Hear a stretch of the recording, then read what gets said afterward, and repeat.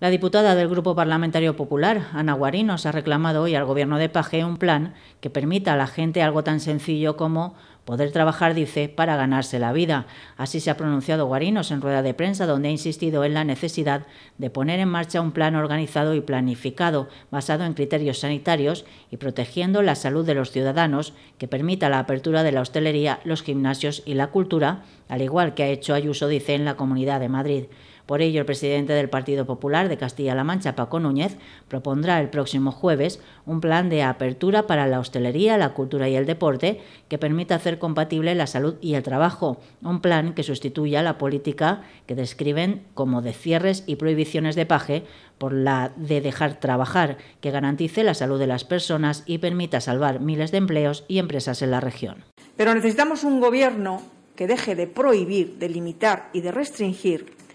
y que permita a la gente algo tan sencillo como es trabajar. Que les permita trabajar aquellos sectores que son los más afectados por las restricciones que semana tras semana se les van imponiendo o se van, o se van prorrogando a los sectores más afectados. Pedimos al Gobierno algo tan sencillo, tan sencillo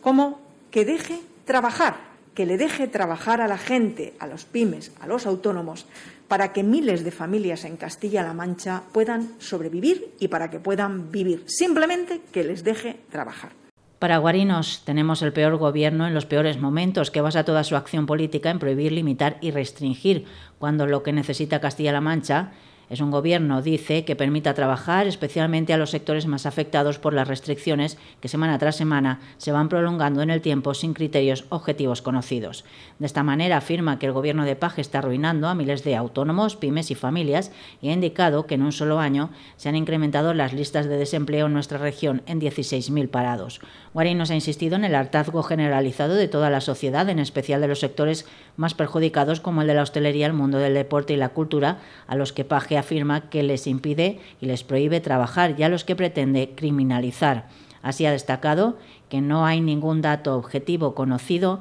para prorrogar semana tras semana las continuas prohibiciones de estos sectores. Nosotros les decimos que aquí en Castilla-La Mancha lo que quieren los hosteleros y lo que queremos también desde el Partido Popular es resolver esta situación y ofrecer soluciones, no aportar prohibiciones ni limitaciones. La solución está porque puedan trabajar